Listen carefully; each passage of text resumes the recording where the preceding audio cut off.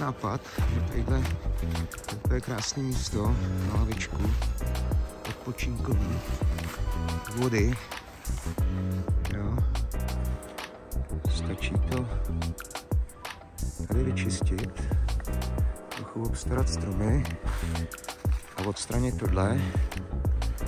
A tady dát lavičku takhle. A je úplně krásný výhled na vodu. you